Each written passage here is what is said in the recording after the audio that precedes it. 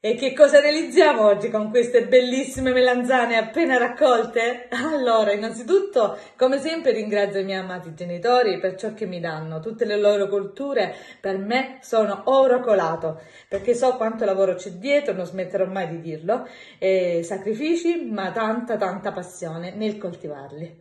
Allora, Oggi parliamo di melanzane, una ricetta salutare, una ricetta semplice e veloce da realizzare. Ho fatto pure rima!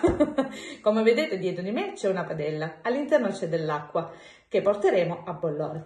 Le melanzane di oggi andranno bollite e poi andranno condite. Una ricetta, una tra le più facili al mondo e poi è senza peso. Quindi andiamo sulla nostra cucina! E come vi ho detto, eccoci qua, guardate, la nostra acqua bolle, ecco, tolgo il coperchio, poi naturalmente la quantità di acqua la decidete in base alle vostre melanzane. E andiamo a tuffarle all'interno, una dietro l'altra.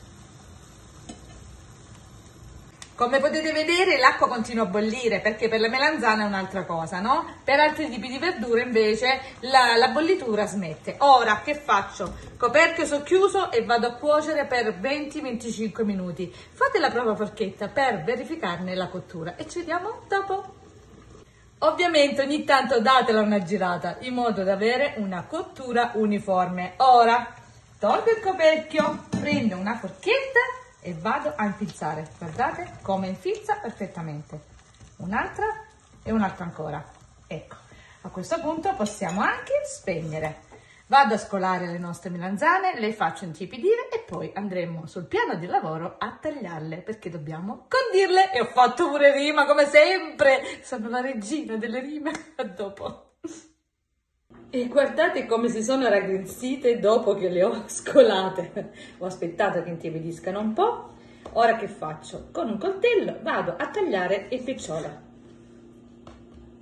Guardate, tolgo il picciolo e poi taglio a pezzetti a mio piacere, a fettine, a pezzetti, come preferite. Vi faccio vedere l'interno. No, giusto per farvi capire la cottura, faccio vedere. Vedete? E assaggio pure. Buonissima beh le melanzane sono buone. Io vado a tagliare a striscette, a pezzettini, a fettine, come preferite. L'importante è che le fate perché sono davvero squisite in questo modo. Quindi le taglio a mio piacere, poi le metto in un piatto da portata, una coppa, ciotola, una bullo, come preferite.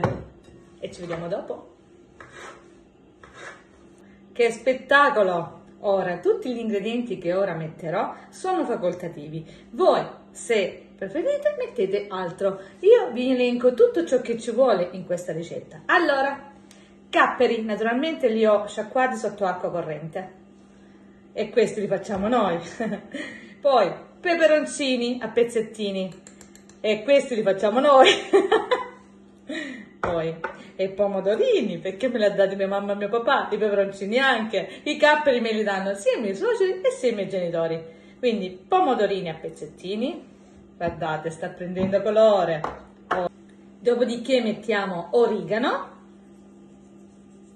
Sale quanto basta ma poi voi assaggiate delle foglie di menta fresca. Ed ora in questa ciotola ho tritato due spicchi d'aglio. Vado a mettere olio di oliva in modo da mettere l'aglio ben sparso mescolo e metto in questo modo. Naturalmente poi l'altro olio che occorre lo metterete dopo Guardate che bellezza! genuino, un piatto davvero genuino. Ora vado a mescolare il tutto ed è il caso di fare subito un buon assaggio.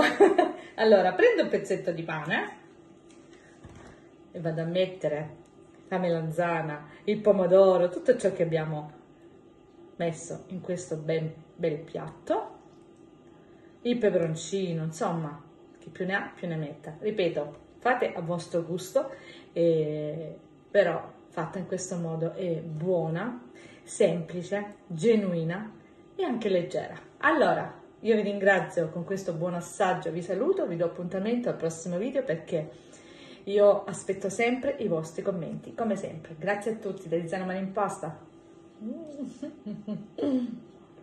Che bontà! E la cottura poi! Un spettacolo! Ciao!